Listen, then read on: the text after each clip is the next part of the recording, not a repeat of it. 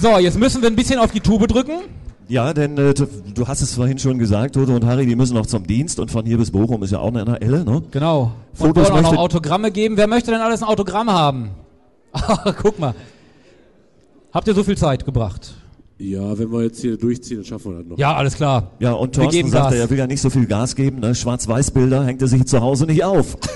Wir geben jetzt Gas. Ich kann nicht sagen, es sind andere gefahren.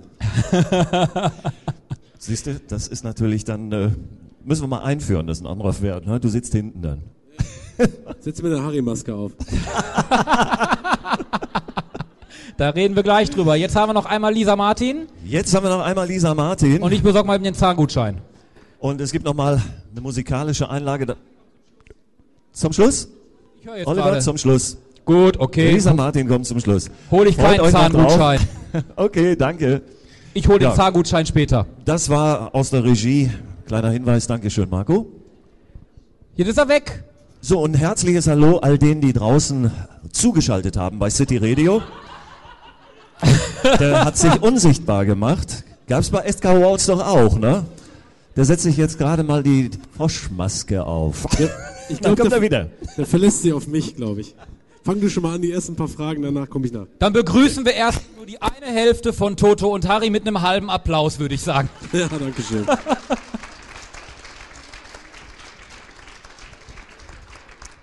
Der Harry hat bestimmt gedacht, es ist Rauchpause.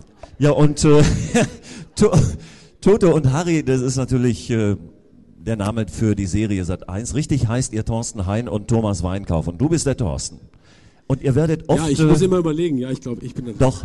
Ja, man verwechseln uns. Ich weiß Ich gar nicht, wie das geht, aber äh, irgendwie äh, haben wir nicht die gleiche Statur und den, wir sehen dann doch ein bisschen unterschiedlich aus. Aber meistens sind, heißt es Otto und Aki und. Da kommt wer der ist Rest. Otto, wer ist so, Harry jetzt dürfen sie mal richtig klatschen. Ich fange schon mal an. Musste noch Pipi. Dachte, gibt noch Musik, da gehst du mal eben. Danke. Ja, wir haben uns die Musik äh, ganz nach hinten gelegt. Und äh, hast du denn lecker gegessen zwischendurch? Wann? Jetzt. Auf Toilette? Auf dem Weg Steine schmecken so komisch, ne? Die, Nee. die gelben Steine schmecken so komisch. Ne? War kein Vanillegeschmack dabei heute. Ja, ich ne, bei durfte, diesen ich durfte Steinchen. gerade hier schon so drei so leckere Brote essen, die waren wirklich fantastisch, muss ich sagen. Das war was ganz Besonderes. An dieser Stelle nochmal einen Riesenapplaus. Party Service Menken. Ich denke, ihr habt noch, bedienen Sie sich. Ja, Thomas hatte mir vorhin schon erzählt, dass ihr oft verwechselt werdet. Und Das ist der Thomas. Ich bin der Thorsten, ne? du bist der Thorsten. Aber ich habe das erzählt. Du sagst das Du Thomas. hast, du hast das aber erzählt. Pass mal auf, pass mal auf. Warst du noch gar nicht da? Vorhin schon. Da warst Stopp, stopp, stopp. Der ist älter, der kann sich das nicht merken. Tausch bitte mal die Plätze. Dann spricht er nämlich immer in die gleiche Richtung. Dann passt das. So, okay. Der Dann Oliver, jetzt- der Oliver hat's vorhin gar nicht mitgekriegt, als Thorsten Oliver, noch nicht da war, ne? Ne, Thomas? Als Thorsten noch nicht da war, Olli, macht ja nichts draus. Da haben wir beide uns schon mal ganz flink unterhalten und da hat er mir das erzählt. Ne? Das nur zur Info, ne? Die Viagra-Tabletten, die habe ich zu Hause gelassen, alles andere auch. Ne? Ah, okay. Für da oben. Kriegt man ein steifes Bein von, ne? Hast du auch schon eins? Nö, ich habe aber schon mal Viagra genommen. Hat's gewirkt? Und die ganze Nacht nicht schlafen. Seine Frau war auch nicht. auch schon. So, Ihr wisst, los. 22.15 Uhr auf Sat 1, immer montags, Toto und Harry. Ähm, wie kam man auf euch äh, überhaupt? Buch 1. Ja. Ich halte das Buch mal hoch. Äh, Scherz beiseite. Also ähm, die Polizeisendung, außer Tatort jetzt, äh, andere Sendung, die liefen immer schon. Äh, 1994 wurde unsere Firma Harrys alte Dienstgruppe, da war ich noch nie auf deiner Dienstgruppe begleitet, vom WDR äh, in der Reportagereihe. Dann ist 98 eine Folge gelaufen, auch bei uns auf der Dienstgruppe. Dann ein Kollege und Kollege sind begleitet worden, 2000 äh, auch. Und 2001 hat sich so ergeben, dass Anfang des Jahres Sat1 den Toki Brothers, das ist eine Gesellschaft, eine Drehgesellschaft aus Essen, den Auftrag gegeben hat, für die 24-Stunden-Reportage in Sat1 doch mal eine Dokumentation über ein Polizeipärchen zu machen. Und äh, da haben die den Auftrag gekriegt. Polizeipärchen. Nicht Polizeibärchen, Pärchen. Olli sagt, ich bin alt, er hat an den Ohren. Wieder das Hörgerät eingeschaltet. Ja, und dann haben die gesagt, in Essen, wir kennen so viele in Essen, das wäre jetzt doof, wir müssen in eine andere Stadt, wo wir vielleicht jetzt auch nicht Leute treffen, die wir dann kennen, das wäre dann doof mit der Kamera.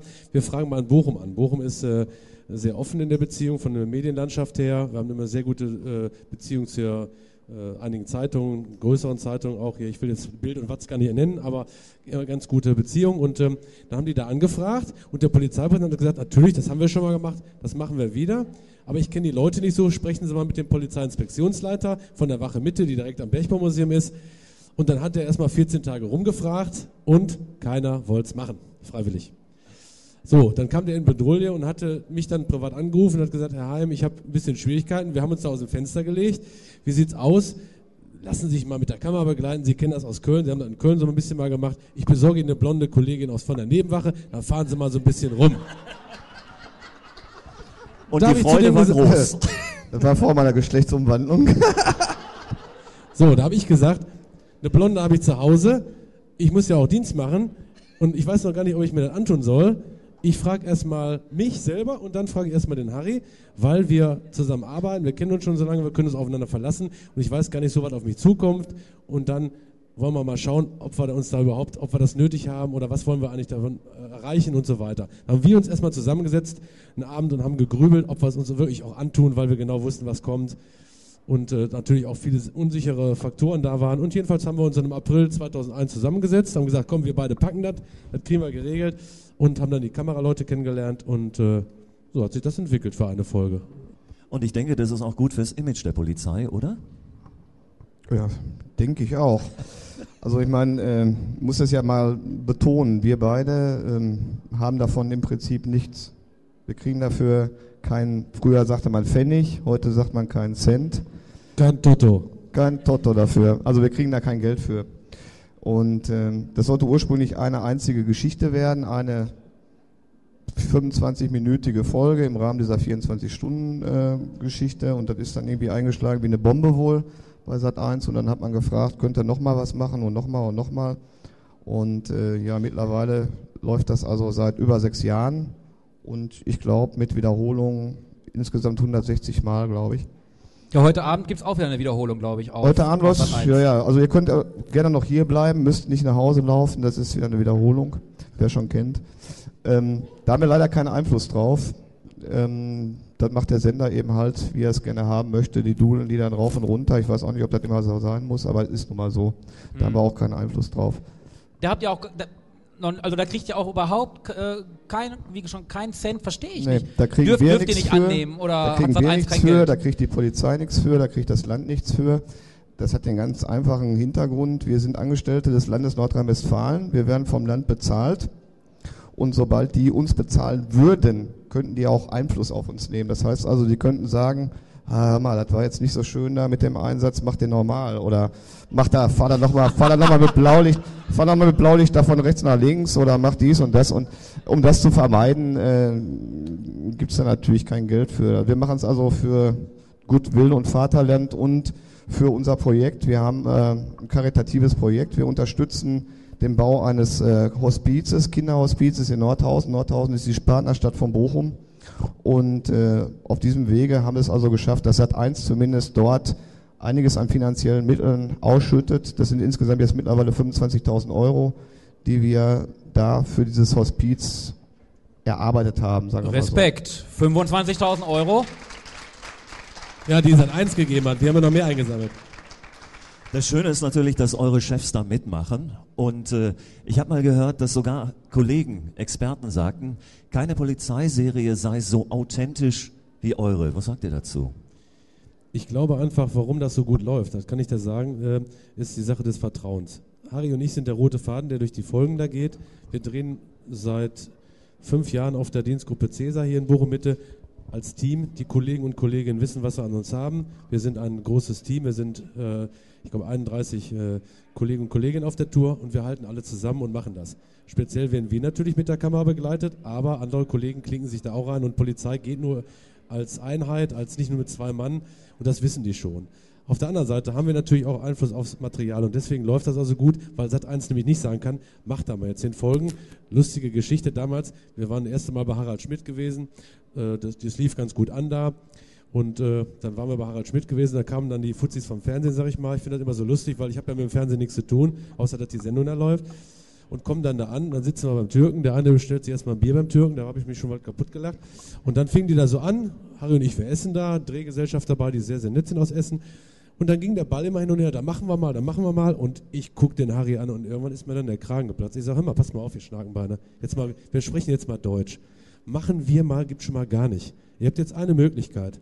Ihr haltet jetzt den Ball flach, lasst uns in Ruhe arbeiten, lasst uns in Ruhe drehen und wenn wir dann vielleicht Material zusammenbekommen, dann könnte das vernünftig zusammengeschnitten werden, dann nimmt das die Polizeiführung ab und dann könnt ihr das vielleicht senden. Und wenn nicht, könnt ihr mich am Arsch lecken. Mir ist es nämlich scheißegal, ob ich im Fernsehen bin oder nicht. Und machen wir mal, gibt es gar nicht. Man sagt mir nicht, was ich machen muss. Das darf vielleicht mein Chef und manchmal auch vielleicht der Harry, aber ansonsten macht das keiner. Und lass das mal schön sein, weil die hatten sich gedacht, ach, fahrt mal so ein bisschen rum, dann machen wir den Kasper und so weiter. Nee, das geht nicht. Polizei ist harte Arbeit, Teamarbeit und da muss man immer am Bürger bleiben und muss alles vernünftig machen und muss sehr, sehr viele Dinge beachten. Aber so machen wir mal, wie jetzt eine Doku die im Studio gedreht wird, gibt es nicht. Und das, das ist der Erfolg, glaube ich, dass wir sehr viel Einfluss aufs Material haben, dass das Material abgenommen wird und dass das Fernsehen kein Rohmaterial bekommt, sondern nur die abgenommene von der Polizeiführung. Da sitzen zehn Leute zusammen, die gucken sich das an, wird alles verfremdet, Datenschutz. Und der, das originale Produkt geht dann an den Sender und so ist das auch gut.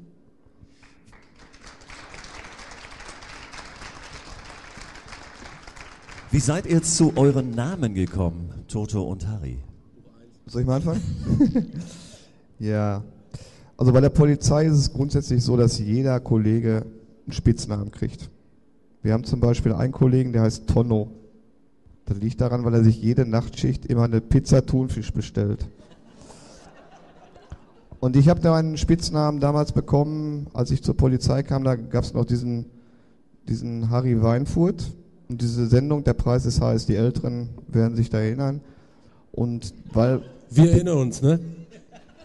Äh, ihr beiden sowieso. Äh, weil der, den der Name noch. so ähnlich ist, Weinkauf und Weinfurt und der immer ein bisschen breiter war, ne? Und ich immer ein bisschen dünner, hat dann irgend so ein schlauer Kollege gesagt, so, du bist jetzt der Harry und damit musst du dann leben. Da kannst du dich mit Händen und Füßen wehren, hast du keine Chance. Ja gut, und Toto kann ich mir ja durchaus vorstellen. Toto hatte übrigens am 24. Februar Geburtstag, habe ich gelesen. Keine Namen. gut. Okay. Ja, ist ja ein Sing schon vorbei. Ja, und ich habe gehört, ja, genau. So. Ist ein Sing schon vorbei, der Geburtstag. Ja. War ein Geldgeburtstag. Toi, toi, toi. Nein, äh, äh, Toto kommt äh, auch von Thorsten natürlich, aber äh, den Namen hatte ich hatte früher äh, beim PSV äh, Bochum Fußball gespielt. Ich kam von Soling rüber nach Bochum, habe dann durch den Hartmut Frommer VfL Amateuren trainiert und dann drüber nach zum PSV. Und da ich in der Defensive immer sehr rustikal verteidigt habe, äh, italienische Catenaccio-Spielweise und ab und zu doch schon mal ein Tor geschossen habe vorne als äh, ähm, rustikaler Mensch, kam einer auf den irrigen Namen da, 90 dann hier vom Toto Schilacci. Der hatte damals langes Haar, ich hatte damals auch, ich durfte es auch länger tragen, noch bei der Polizei. Da gab es ja so ein Hart- und Bartalas, da wärst du durchgefallen. Und äh, dann hat einer gesagt, ach komm, da spielst du für Toto Schilacci. Und der Harry sagt ja, du kannst dich wehren, wie du willst. Umso mehr du dich wehrst, du hast dann den Stempel auf dem Kopf und dann kannst du dich auch ja, nicht mehr da gegen wehren und manchmal äh, weiß man seinen eigenen Vornamen nicht mehr, ne? Thomas. Thorsten. Und äh, ihr seid ja nur zwei Vollblutpolizisten. Wie lange seid ihr denn schon im Dienst, Toto?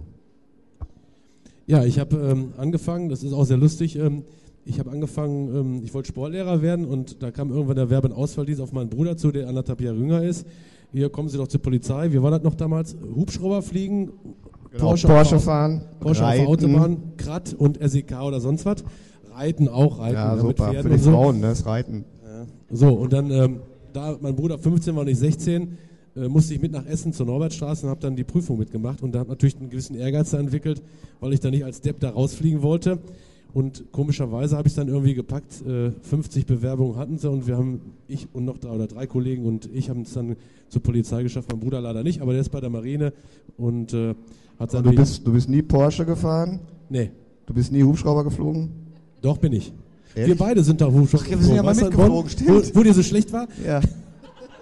Nach 20 Jahren, genau. genau. 20 Jahre Polizei, mal Hubschrauber fliegen. Thorsten war auf dem Dachgepäckträger. Bitte? Thorsten war auf dem Dachgepäckträger. Du, du musst ja, sprechen, Harry ist auch schon älter. Ach so. Ja, ja ich bin seit 1981 bei der Polizei. So lange schon. Und seit April 1984, seitdem bin ich im Wach- und Wechseldienst, jede Woche Nacht, spät, früh, Nacht, spät, früh. Das zieht sich so durch, bis ich irgendwann, was ich hier, Unfall oder was, keine Ahnung. Hat man denn da noch einen Freundeskreis? Ja, Nacht, spät und früh, ne? ja, also das ist, das ist was, was du sagst, ist ganz schwierig unter einen Hut zu bringen. Wir gehen die letzten Jahre aufgrund dessen, dass wir uns die Lebensarbeitszeit und die andere Arbeitszeit, die Wochenarbeitszeit natürlich erhöht haben, gehen wir natürlich geballter, intensiver arbeiten und weil wir natürlich auch weniger Kollegen haben. Äh, dann musst du unter den Hut bringen deine Familie, die natürlich ganz, ganz wichtig ist. Ohne die gibt's mich ja so gar nicht. Also das ist die riesen Rückendeckung. Harry ist ja das Gleiche. Dann hast du den Wechseldienst noch, dann hast du Öffentlichkeitsarbeit und so weiter. Ich, wir, der Harry jetzt gesagt, wir äh, engagieren uns auch hier stark fürs, im sozialen Bereich. Ich mache hier Vorsitzender vom Judo-Verein. Wir machen viel fürs Kinderhospiz, für andere Sachen.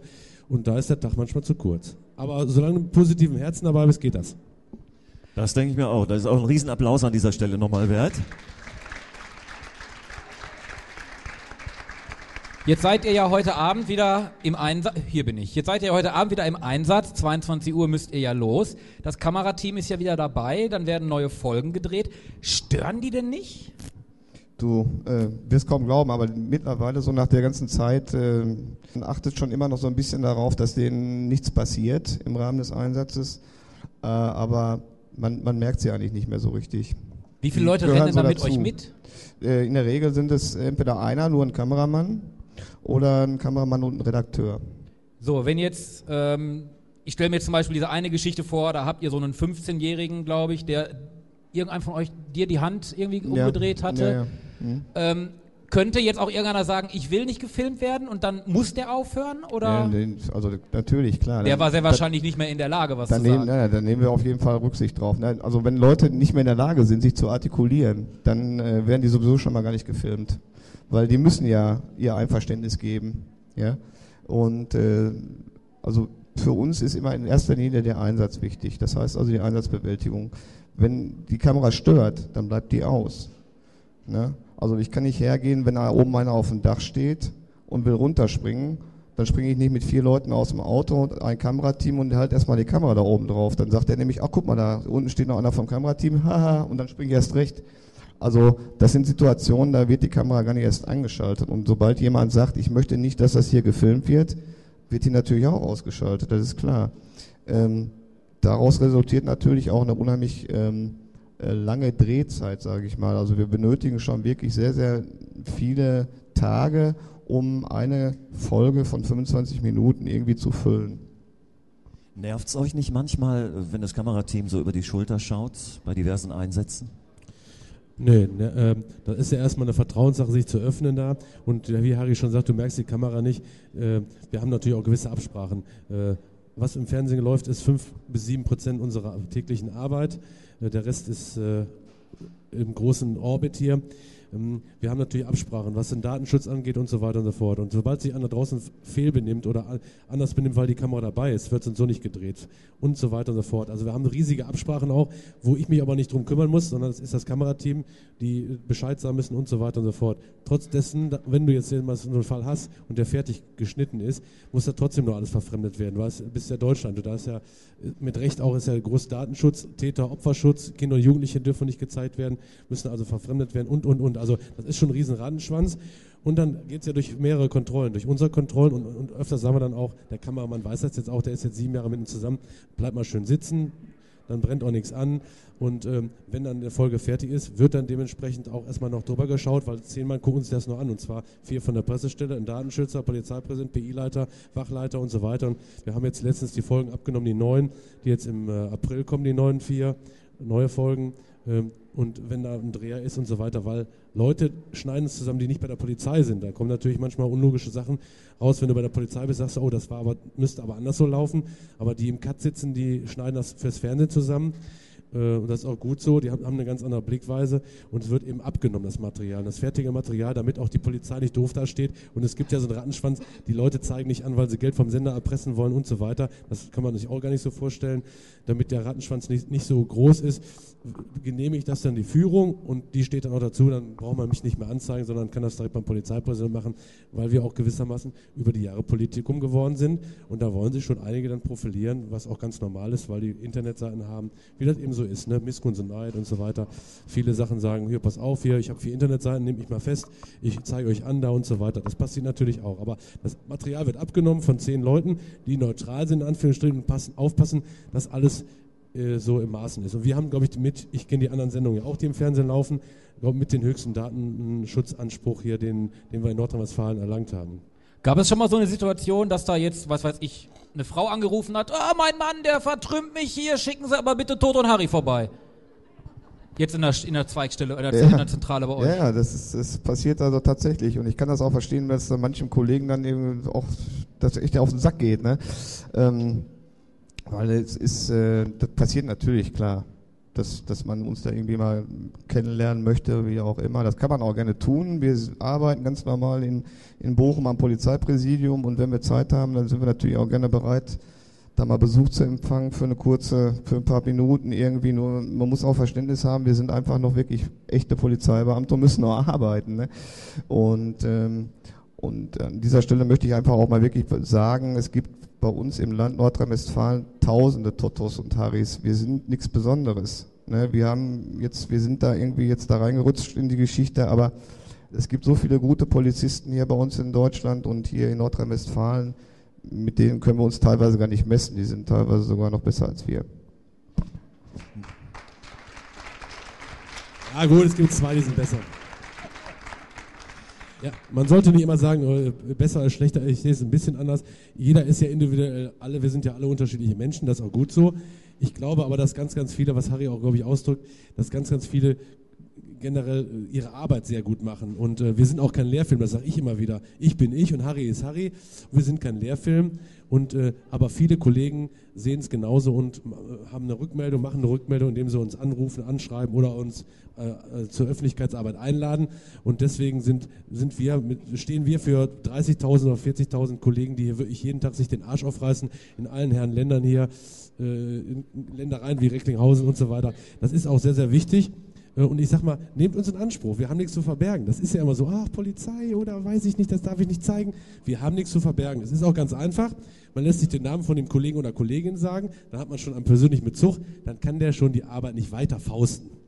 Dann sagt man, so, Herr Wachmeister, wie heißen Sie? So und so, wo arbeiten Sie? So, ich habe folgendes Problem. So, schon hat man einen persönlichen Bezug und wird nicht dann dumm weggeschickt. Das gibt's auch. Der Mensch ist, glaube ich, von grundlegend, äh, hat eine gewisse faule Ader und es gibt überall Leute, die schieben die Arbeit weiter. Und wenn man aber den Polizisten anspricht und sagt, so pass mal auf, wie heißen Sie, wie sieht's aus, ich habe das und das Problem, wird er sich mit Sicherheit auch persönlicher kümmern, als wenn er am Telefon sagt, ja, pff, Hallo, Leitstelle Recklinghausen, was haben Sie Glück auf, auflegen? Nein. Wenn du einen persönlichen Bezug herstellst, ist es immer besser. Und das war ja früher so. Was, was, nach was sehen wir uns alle? Sag ich mal ganz ehrlich. Nach dem Schutzmann an der Ecke. Wir sind viel zu mobil geworden, wir haben viel zu wenig Leute. Und früher, als ich noch in Köttel war, da bin ich draußen rumgelaufen, da kam der an, der Wachtmeister dann hier das war meistens jemand, der irgendwo aus einem anderen Beruf zur Polizei gegangen ist. Der hatte auch keine Pistole dabei, der hatte Butterbrot in der Dings. Den kannte jeder. Der hat sich aber auch um alles gekümmert. Das war der Schutzmann an der Ecke. Das war ein Mit-40er oder eine 50, so Bezirksbeamter. Und der hat sich gekümmert. Jetzt will ich mal fragen, habt ihr noch Bezirksbeamte hier in Recklinghausen? Das ist wenig. Da garantiere ich euch für. Weil das ist in jeder Stadt so. Wo ist die Polizei? Du musst schon zur Wache gehen, weil keiner mehr bei dir am Ort, durch den Ortsteil läuft. So ist das. Und das ist überall so. Und dann, wenn man da einen persönlichen Bezug herstellt, und sagt, komm, jetzt nehme ich die Leute in Anspruch, dann klappt das auch. Und früher war das eigentlich etwas schöner, weil wir viel mehr Kollegen waren und die konnten sich draußen viel besser kümmern und die Probleme der Bevölkerung dann auch erledigen. Und ich kann mich erinnern, in Bottrop, da ist es so, dass dort die Polizei ausziehen musste, da ist der Staatsschutz noch mittlerweile drin. Kollegen, einige Kollegen sind nach Gladbeck gekommen, Großteil nach Recklinghausen und auch Gladbeck wird wieder zur Provinz, wo ich halt herkomme, verfallen. Denn äh, auch diese Wache soll, soweit es geht, leergeräumt werden. Und man spricht also schon an diesem, äh, von diesem ganzen Ensemble Amtsgerichte, Finanzamt und Polizeiwache, dass ein privater Investor den ganzen Spaß kauft und da alten Wohnungen rausmacht. Und äh, es ist tatsächlich so, es ist tatsächlich so, dass äh, wie gerade eben schon äh, Thorsten sagte, dass äh, die Polizei gar nicht mehr in der Form so präsent ist, wie sie früher mal präsent war. Ich kann mich noch erinnern, Oliver, ich bin zwei Jahre älter als du, sag ich mal an dieser Stelle. Danke. Jetzt guck nicht so. Danke. Ich verrate auch gleich noch was. Auf jeden Fall äh, kann ich mich noch erinnern, wenn ich dann einen äh, Polizisten mir gegenüber sah oder nur in der Nähe, da stand man stramm. So kannte ich das. Und man hat auch den Bezug zur Polizei gehabt. Der hat dich angesprochen, Mensch, Jung, hast dich verlaufen, wo wolltest du denn hin? Ne? Aber äh, an dieser Stelle mal eine Frage in die Richtung, äh, wenn ihr eure Einsätze fahrt, äh, passiert es dann nicht schon mal, dass der ein oder andere sagt, äh, oh, was wollt ihr denn hier? Ne? Ich kenne euch doch aus der Sat 1 Serie. Werdet ihr überhaupt noch ernst genommen dann? Passiert das schon mal? Ja gut, der Wiedererkennungswert ist natürlich da, aber ähm, diese Frage taucht komischerweise immer wieder auf. So, wie sieht's aus mit dem Respekt? Warum nennt der Mann dich ernst? Wie? Warum nennt der Mann dich ernst? äh, wie sieht's aus mit dem Respekt und werdet ihr noch ernst genommen? Das ist schon so. Man, man muss sich immer mal in die Lage versetzen desjenigen, der sich, der sich bei uns meldet. Das ist ja, wie gerade schon angedeutet, eine unheimlich hohe Hemmschwelle, bis, bis man die Polizei überhaupt erstmal in Anspruch nimmt. Ähm, ich kenne das zumindest so von meinen, ich weiß, dass meine, meine Oma damals, die hatte da immer totale Probleme mit und es wird vielen so gehen. Äh, bevor ich die Polizei in Anspruch nehme, muss schon irgendwas passiert sein, was Erhebliches passiert sein. Und äh, da konzentrieren die Leute sich natürlich auch auf das Anliegen, was sie haben dann ist das egal, ob jetzt Dotto und Harry kommen oder wer auch immer. Dann wird zwar kurz gesagt, auch Sie kenne ich aus dem Fernsehen, Sie sind doch hier Dotto und Harry, ja. Und dann kommt man aber zum Kern der ganzen Geschichte. Ne? Und der Respekt, ähm, der ist teilweise in Bezug auf uns sogar noch gewachsen, statt abgefallen. Also früher, ich kann mich gut erinnern, wir sind durch die Brüderstraße gefahren, hier unsere Kneipenmeile hier in Bochum, das Bermuda-Dreieck. Und da sind dir da so Rotzige entgegengekommen und ey, Bulle, und heute also das ist schon, das ist ja, ist aber doch sehr, das ist wesentlich angenehmer, ne? Das ist wesentlich angenehmer, als wenn mir einer die ganze Zeit so einen Stinkefinger zeigt, ne? Oder mich mit, mit Bierflaschen beschmeißt oder sowas, ne? Also. Ja, das war aber die Zeit, die wir im Sixer gewesen sind oder im Intershop hier mit Heiner Lauterbach und die ganze Truppe, Claude Oliver und Rudolf, die haben es ja heute. die haben es natürlich übertrieben, ja. Was passiert, wenn ihr, nicht, dass ich den kennen würde, aber was passiert auf dem Eierberg, wenn ihr da mal streichen fahrt? Kennst du gar nicht, ne? Ich war auch schon mal da. ich habe da mal geguckt. Geguckt. Nee, Meine Frau ist da. Ich habe da mal geguckt. Wo sind die Fotos? Da gab es noch keine Digitalkameras. Wie, wie, war die Frage nochmal? Wie war die Frage nochmal? Habe ich schon wieder vergessen, ist egal. Ja, aber es ist ganz einfach, ja. Ähm, wir lachen auch, wir haben auch witzige Leute getroffen und das finde ich auch toll. Da, davon lebt das Ruhrgebiet ja auch. Und äh, ob ich jetzt hier in Dortmund, Essen, Bochum, Recklinghausen oder sonst wo im Ruhrgebiet bin, der Menschentag ist doch ähnlich und das ist auch schöner an uns. Wir sind sehr offen, sehr ehrlich und sehr direkt. Das ist auch gut so. Ne? Da war mal eine Frage mit Duzen und Siezen, da gehe ich auch mal kaputt. Respekt macht man nicht mit Du oder mit Sie, das, das drückt man in der gesamten Sprache aus. Und äh, ob ich dann jemanden duze mit Respekt oder Sieze mit Respekt, das ist egal, das merkt man sofort, ob man respektvoll miteinander umgeht. Aber äh, wir haben ja auch lustige Leute kennengelernt und äh, was Harry schon sagt, ja, das Schöne ist eigentlich auch, ähm, dass man dementsprechend das auch widerspiegeln kann. Und ähm, äh, dass eben nichts gestellt ist. Wir haben zwei, drei super Fälle gehabt, wo der Kameramann nicht den Einsatz gefunden hat und so weiter. Und ja, dann ist der Fall weg und dann wird auch nicht nochmal nachgestellt. Ich habe gesagt, eine lustige Geschichte hier. Harry äh, wollte hier zum einem Second-Hand-Laden, wollte was schauen und hinter ihm schließt sich jemand rein mit zum Rucksack und äh, als er den Harry in Uniform dann sah, hat er gebremst und ist so rückwärts raus. Ich gucke, was ist los? Harry hat es aus dem Auge gewickelt, ist hinter dem her und wir haben den dann festgehalten im Auto ja, Rucksack auf, was war drin? Hehlerware, um es kurz zu machen. Und äh, dann hat er noch einen Haftbefehl offen gehabt von 500 Tagen. Also wir haben den also noch weggesperrt. Ja, das war eine schöne Geschichte an sich. Aber gut, Kameramann hat die Einsatz nicht gefunden. Da sagen wir nicht, kannst du noch mal weglaufen oder sonst was. Das ist ja, das ist ja, das ist ja irrsinnig. Ne? Und davon lebt auch die Sendung, dass es authentisch ist, dass wir offen und ehrlich äh, Leute sind und eben auch keine Schauspieler. Wir haben zig Angebote gekriegt, wo wir irgendwie Zeuge bei Barbara Salisch oder dies oder das Glück auf, machen wir nicht. Und äh, das Einzige, was wir mal spielen wollten, Harry weiß es ja, mein größter Wunsch ist, wir sind, Leiche im äh, Tatort möchte er mal spielen. Genau, der Leiche im Original Tatort, das habe ich jetzt angeleitet mit Ballauf und Schenk hier. Äh, die haben wir äh, getroffen, wir machen öfters ein paar Sachen zusammen, die machen ja auch sehr viel Karitatives und da habe ich schon mal gesagt, ich setze mir auch eine Frauenmaske auf eine Perücke. Hauptsache, ich kann eine Leiche mal am Tatort spielen, das schaffe ich ja, auch. Ja, braucht ihr denn nicht mal irgendwie eine Frau am Tatort? Im Tatort, Ich glaube, er meint den richtigen Krimi am Samstag. Ja, wir wollen jetzt mal nicht von Samstagabend reden hier bei euch in der Show, wenn er sich freiwillig eine Perücke aufsetzt. Ja, ich würde ihn gerne um die Ecke bringen, das machen wir ja. Hauptsache die Cola schmeckt noch. Harry, hat sich denn äh, persönlich für euch was verändert, nachdem ihr so einen äh, Bekanntheitsgrad habt? Nö. Überhaupt Würde ich doch hier nicht sitzen. du kannst Fragen fragen, du. Ja, ja natürlich, ich dachte, klar. frag die mal. Ne? Ja, ne, sicherlich, klar, sicher. Hat sich da schon einiges verändert. Der Bekanntheitsgrad ist eben halt äh, gestiegen und ähm, es ist nicht mehr ganz so einfach, äh, in Bochum unerkannt einkaufen zu gehen, sage ich mal. Ist aber nicht weiter schlimm, weil die Leute, die Reaktionen sind eigentlich durchweg sehr positiv.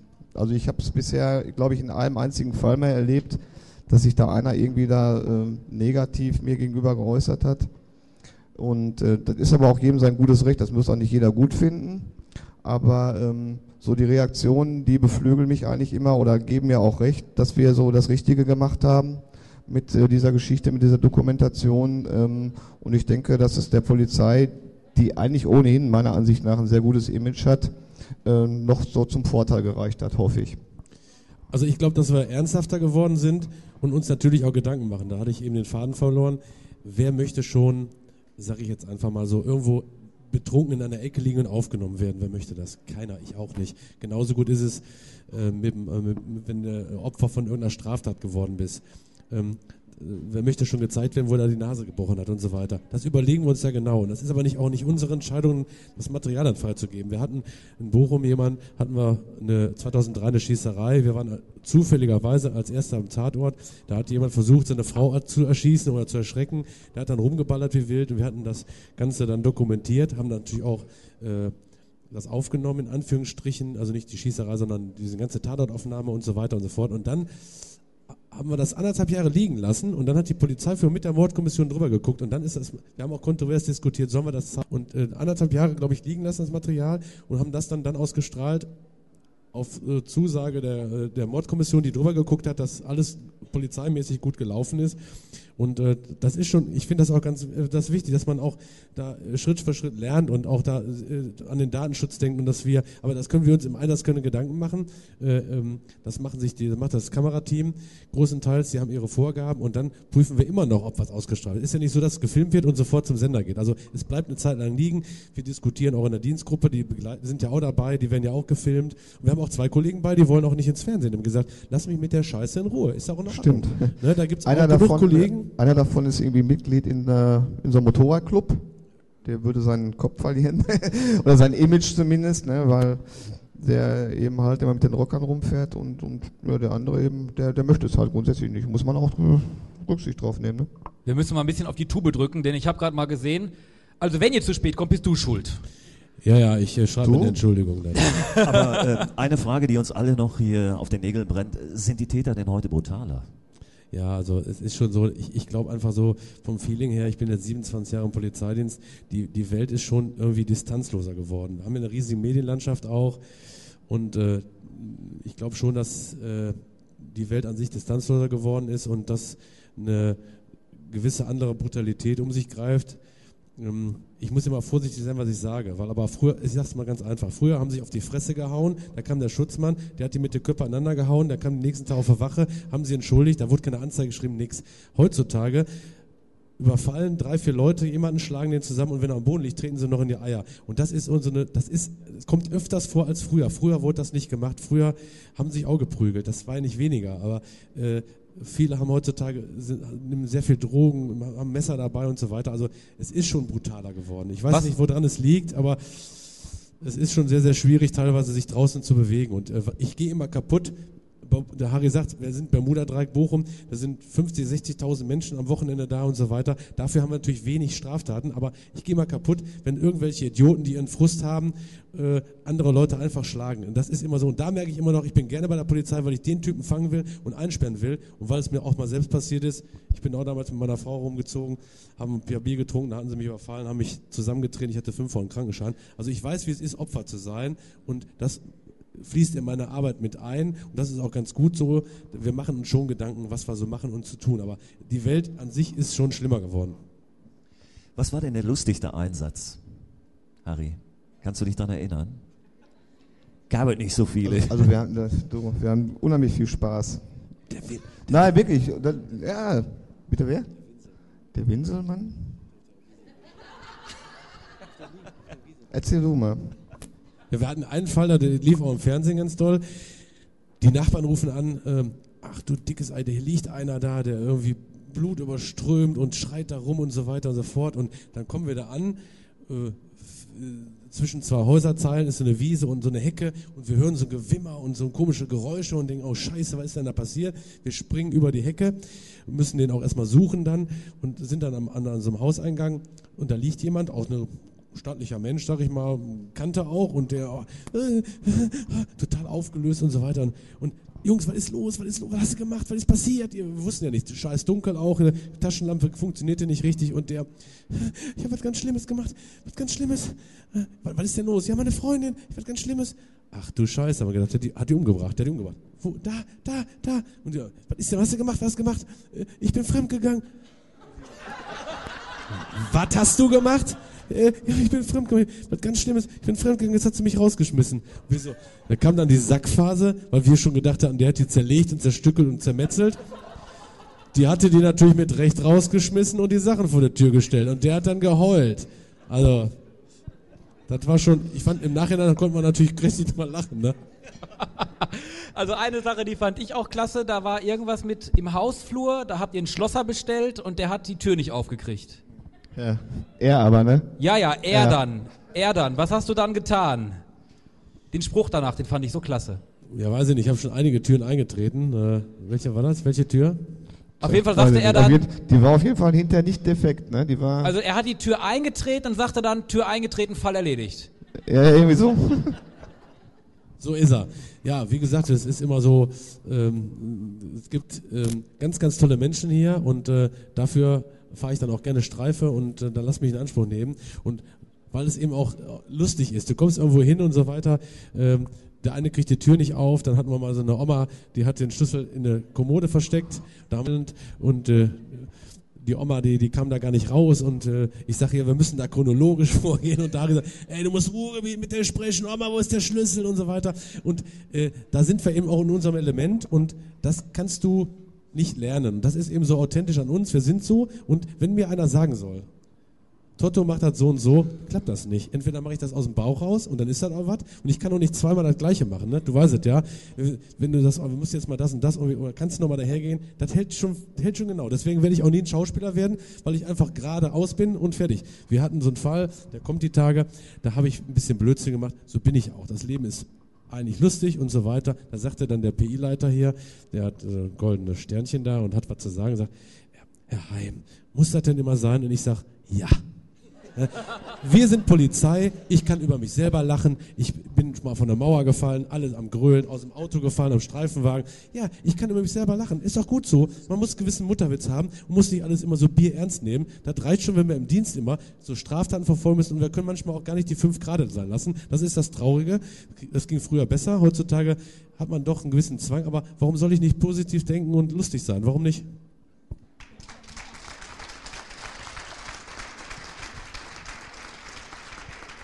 Ihr habt ein Buch rausgebracht. Ist, glaube ich, schon das zweite jetzt, ne? oder? Zwei, ja. Zwei Bücher rausgebracht. Ja. Ich fange nochmal von vorne an. Ihr habt zwei Bücher rausgebracht. Ja. Eins habe ich, eins Toto. Diese beiden hier. Dann werde ich mir das zweite jetzt kaufen. Ich habe mir extra ein Regal gebaut für meine beiden Bücher. Kannst du denn schon lesen?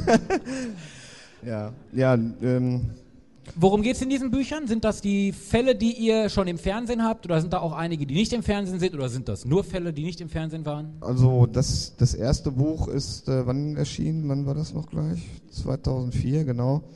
Ähm, da ist so, das ist so ein bisschen autobiografisch. Also die, unsere Biografien sind da drin, wie wir zur Polizei gekommen sind. Da sind ein paar Fälle drin, die wir gemeinsam erlebt haben. Da sind auch lustige Sachen drin aber auch äh, sehr ernste Geschichten, dann die Arbeit mit der Kamera, so eigentlich rundherum das beantwortet, was wir heute Abend so besprochen haben auch. Das Buch haben wir geschrieben, weil der Harry und ich damals einen Strafbefehl zahlen mussten, jeder 3600 Euro. Ach ja, genau. Die Geschichte steht da auch drin. Die, das ist auch sehr Geschichte, lustig. Die glaubt man gar nicht. Wir haben uns äh, in, äh, ist ein kurzer Dreher, wir haben uns im, vor Gericht mit einer Anzeige vertan, wobei sich fünf andere auch vertan haben und haben das dann aber selber festgestellt, dass wir uns vermutlich vertan haben, haben das dann auch dem Gericht kundgetan und die haben gesagt, was weiß ich, das ist jetzt vertane Zeit, ihr zahlt jetzt jeder 3600 Euro. Ist eine Riesengeschichte, wir haben geblutet Komm, für alles, was falsch gemacht worden ist. Ja, ich wollte mich nicht aufregen, aber es ist schon, so Dreher gibt's gar nicht, das sind Geschichten, die erleben, so schreiben. Das war gesagt, schon sehr unfair, das war, das war eine Rotlichtgeschichte und wir haben uns wirklich wirklich vertan, muss man ganz ehrlich sagen. Der, der Betroffene musste hinterher 50 Euro zahlen und äh, ja, wir sind, ja, ich, ich würde es auch immer wieder tun. Ich, also wir waren so ehrlich und haben uns selber angezeigt und haben gesagt, Mensch, wir haben uns da vertan im Rahmen dieser dieser, Hattet ihr in äh, Liechtenstein auch irgendwas zu tun? Bitte? Habt ihr mit Liechtenstein auch irgendwas zu tun? Selbstanzeige? Liechtenstein, nee. Ja, nee. klar.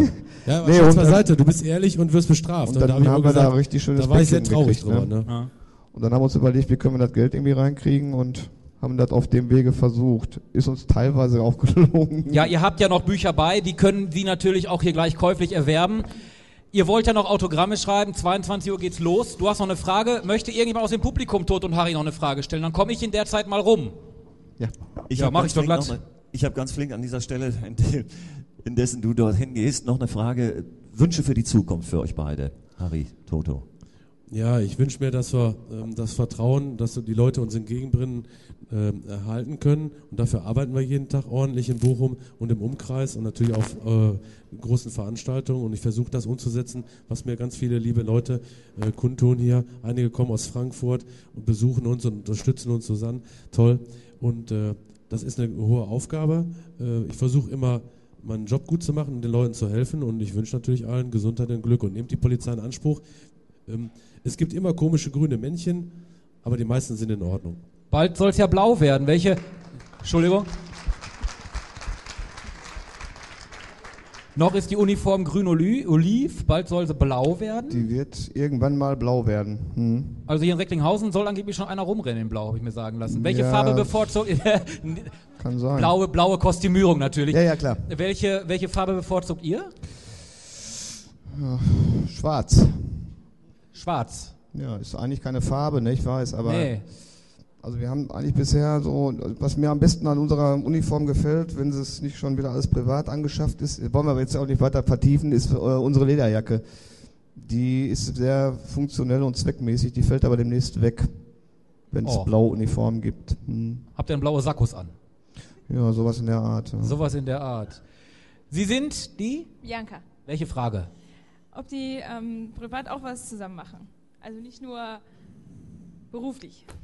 Wir ähm, kennen uns schon vor dem Beruf. Also wir waren zwar bei der, Poli äh, bei der Polizei und haben uns äh, haben eigentlich nicht zusammen gearbeitet, waren auf verschiedenen Dienstgruppen und sind dann Anfang der 90er Jahre böse um die Häuser gezogen, sag ich mal. Ja, zum VfL. Ja, 2-0 gestern. Auch, auch zum VfL, ja, ja. Ja, die haben noch 2-0 gewonnen. Laune ja, gut. Ja, super, gegen Leverkusen. Ja. Habe ich gar nicht mit gerechnet. Zwölfter Platz. Zwölf, ja. Vor ja. Dortmund. Ja, ja, ja, vor ja. Dortmund. Haben wir hier. Vor Lüdenscheid Nord. Sie hatten auch noch eine Frage. Richtig. Äh, ist noch ein drittes Buch angedacht oder bleibt es bei diesen beiden?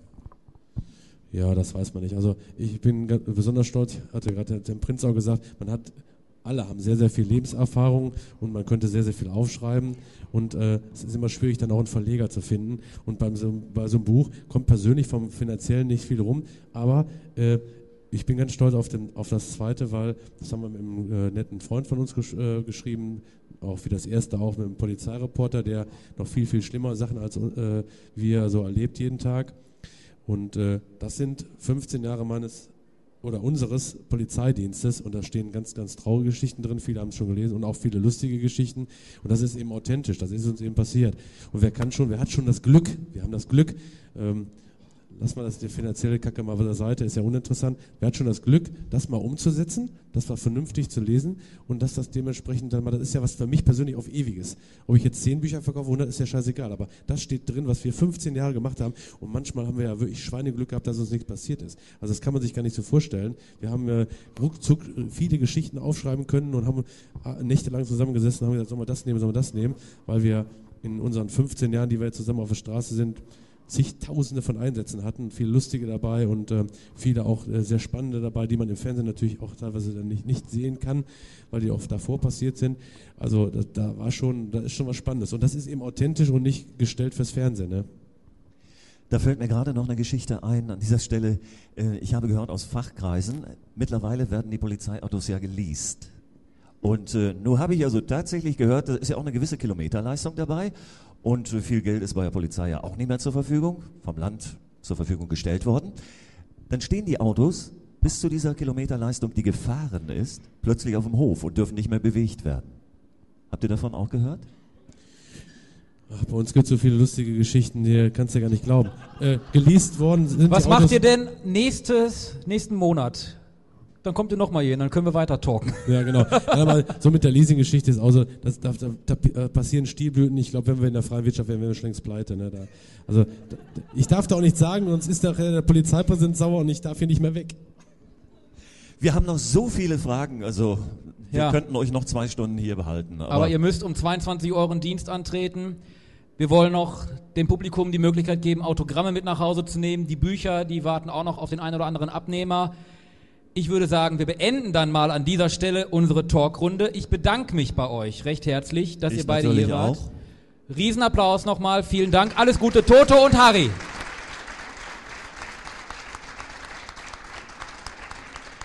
Und wo ihr gerade so toll eure Hände zusammensetzt, Oliver Kelch hat heute Geburtstag. Ach. Genau. Und ich dachte schon, ich komme da drum rum. Freibier für so, alle. Sollen wir nicht, sollen wir nicht mal, sollen wir mal ein Liedchen anstimmen? Ich habe in eurer Dienststelle schon angerufen, ihr dürft noch hier bleiben. Zum Feiern. Ach nee.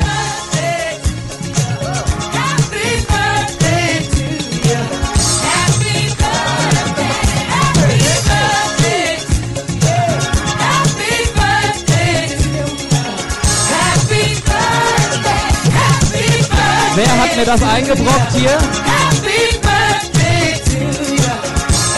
Kinder, ihr seid so lieb.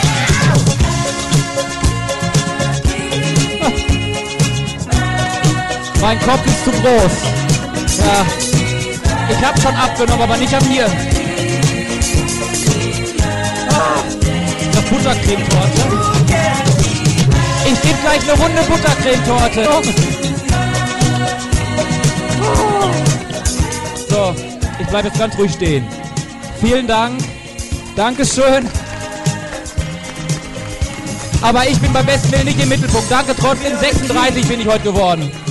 Für die, ach, da steht sogar drauf. Danke. Klasse. Gut, dass Sie die Zahlen hier umgedreht haben. Dankeschön. Dankeschön. So, was soll ich jetzt noch sagen? Das war's für heute. Das war Talk im Kino, die dritte. Empfehlen Sie uns weiter. Kommen Sie im nächsten Monat wieder. Am 7. April, glaube ich, ist es soweit. Genau dann haben wir Kerstin Gäte hier. Die kennt ihr noch aus äh, der Serie Die Anrainer. Und sie hat im letzten Jahr natürlich auch in einer Daily Soap mitgemacht. Und Lutz Reichert ist mit dabei. Lutz Reichert hat äh, vor einigen Jahren mal den Meyer 2 gespielt. Und zwar im Tatort zusammen mit Manfred Krug und Charles Brauer. Und Kerstin Gethe ist auch äh, bei Rosamunde Pilcher Verfilmungen mit dabei gewesen. Genau und immer so. noch mit dabei. Und äh, die beiden begrüßen wir natürlich beim nächsten Mal hier beim Talk im Kino. Ich hoffe, ihr seid wieder mit dabei. Und äh, es gibt noch mehr Gäste, ne? Ja, äh, wir ich, haben Überraschungsgäste ich, auf jeden Fall also dabei. Da, da, war noch was, da ne? war noch was. Andreas Becker von der SPD, wenn mich nicht alles täuscht. Genau so. Andreas Becker von der SPD, genau. Und wir bedanken uns bei allen, die heute hier waren, unseren Gästen und natürlich auch bei euch die ihr gekommen seid, um äh, Talk im Kino zu erleben. Und draußen im Radioland äh, bei unseren City Radio-Hörern, genau. die alles live in Farbe und in Stereo mitverfolgen konnten. Und wir haben jetzt an dieser Stelle natürlich auch noch ein dickes Dankeschön auszusprechen. Ein Lied singt sie auch noch. Ein Lied singt sie gleich auch noch. Lisa an Martin. Lisa Martin. Dickes Dankeschön. So, wir bauen jetzt mal hier vorne, würde ich sagen, so einen kleinen Tisch auf. Das machen wir eben gleich meine Kollegen bitte. Einen Tisch aufbauen für Toto und Harry und dann gesittet in einer Reihe. Das war's für heute. Talk im Kino, die dritte. Wir danken Ihnen für den Besuch. Bis zum nächsten Monat. Tschüss. Mit dabei waren Oliver Kelch und Achim Bleuel. Dankeschön. Und an Tschüss. der Technik Fabian Köhler und mein Kollege Marco Brüning. Danke sehr.